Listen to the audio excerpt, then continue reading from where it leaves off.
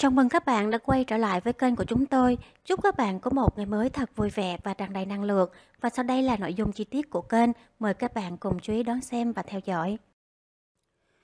Trực tiếp đám cưới của Huynh Bin và Son Ye Jin, cô dâu chú rể tập duyệt cho giờ G thêm ảnh hôn lễ được hé lộ. Đám cưới Huynh Bin và Son Ye-jin được tổ chức vào ngày 31 tháng 3 tại khách sạn Grand Quaker Hill, Seoul ở phía đông Seoul. Thời điểm cử hành hôn lễ sẽ diễn ra vào lúc 16 giờ ngày 31 tháng 3 giờ địa phương. Thêm hình ảnh tập dợt cho hôn lễ được hé lộ, cô dâu cực rạng ngời, chú rể xuất hiện bảnh bao. Theo The Park, hôn lễ của Huynh Bin và Son Ye-jin được tổ chức với vi mô dưới 200 người. Hình ảnh hiếm hoi của đám cưới tiếp tục được chia sẻ. Theo YTN Star, các khách mời đã bắt đầu xuất hiện tại đám cưới. Hình ảnh hiếm hoi tại hôn lễ cũng đã được chia sẻ. 15 giờ giờ địa phương, tờ Asia News tung ra loạt hình ảnh mới trong đám cưới, cho biết cặp đôi đang tập dượt để chuẩn bị cho khoảnh khắc đặc biệt vào lúc 16 giờ. Bên cạnh đó, truyền thông Hàn Quốc cũng cho biết thêm Gong Yu và Han Jae Suk cũng tham dự lễ cưới.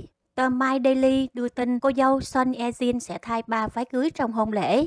Ca sĩ Kim Bum Su, Aum Kim hát trong đám cưới.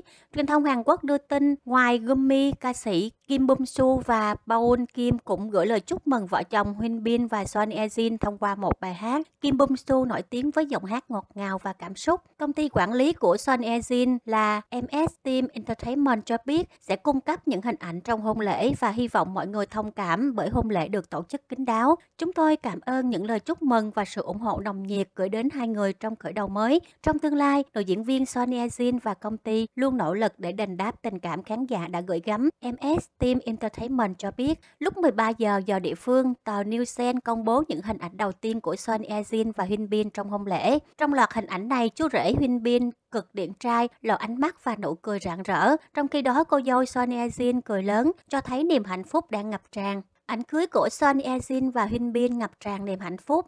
Đám cưới thế kỷ của Son Ezin và Hyun Bin chính thức diễn ra vì đây là tiệc kính nên người hâm mộ khó lòng được chiêm ngưỡng những không gian hay đến tận nơi để chứng kiến thời khắc quan trọng. Chính vì vậy, Son Ezin và Hyun Bin đã quyết định công bố ảnh cưới để bù đắp cho fan. Sony Jin Huynh Bin không chụp ảnh cưới ở nơi cầu kỳ mà chọn studio với phong cảnh là hoa chủ đạo. Trong một bức ảnh Huynh Bin diện vest trắng đầy bảnh bao, ngoại hình phong độ của nam diễn viên tiếp tục đốn tim các fan girl. Sánh đôi bên cạnh nửa kia, Sony Jin diện chiếc váy trắng có thiết kế nhẹ nhàng, lớp van mỏng bên ngoài tạo nên sự dịu dàng. Phần vai áo để lệch sang một bên, kiểu tóc của sao nữ hạ cánh nơi anh cũng đơn giản, phô diễn được gương mặt xinh đẹp.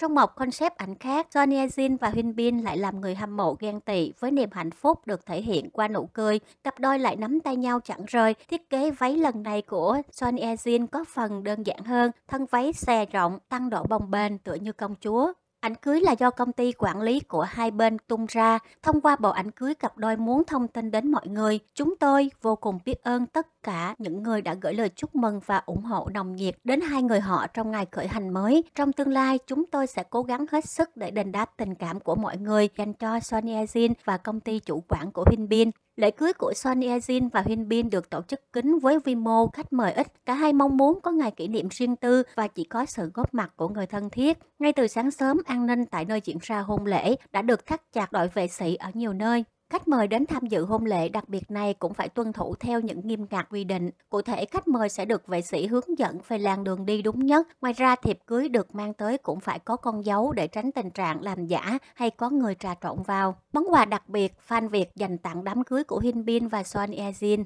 Được biết, người hâm mộ tại Việt Nam đã chuẩn bị cho Hin Bin và Son Yejin những món quà rất đặc biệt nhân ngày trọng đại. Đặc biệt nhất đó chính là chiếc khăn van cưới theo chữ bằng tay từ hãng áo cưới Việt Nam. Trên chiếc khăn van cưới là dòng chữ Benzin tháng 3 năm 2022, Crash Landing on You. Dòng chữ này có ý nghĩa bao gồm Benzin là từ ghép tên của cô dâu chú rể. Tháng 3 năm 2022 là thời điểm cặp đôi tổ chức đám cưới và Crash Landing on You chính là tên tiếng Anh của bộ phim Hạ cánh nơi Anh từng làm mưa làm gió một thời do Hyun Bin và Son Ye Jin đóng chính. Ngoài chiếc khăn voan có dòng chữ thiêu tay được gửi đến đám cưới, fan Việt còn dành tặng cho Hyun Bin và Son Ye Jin nhiều món quà khác để mừng ngày trọng đại như biển quảng cáo điện tử tại tòa nhà, Bien Dong Red Eye, hai bình hoa pha lê tạo hình chú chim, thư viết tay và tranh vẽ hình chú chim và hộp hoa sấy khô để tạo thành khu vườn tình yêu. Có thể nói tấm lòng của fan Việt dành cho cặp đôi này được nhiều người ngưỡng mộ.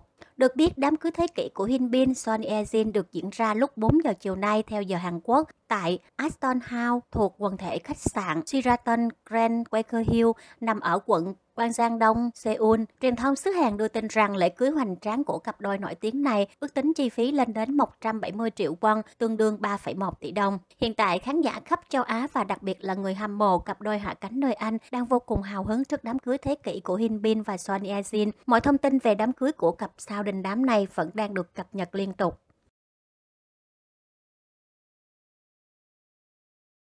Bản tin của chúng tôi đến đây đã kết thúc. Cảm ơn các bạn đã quan tâm và theo dõi. Hẹn gặp lại các bạn ở những bản tin tiếp theo.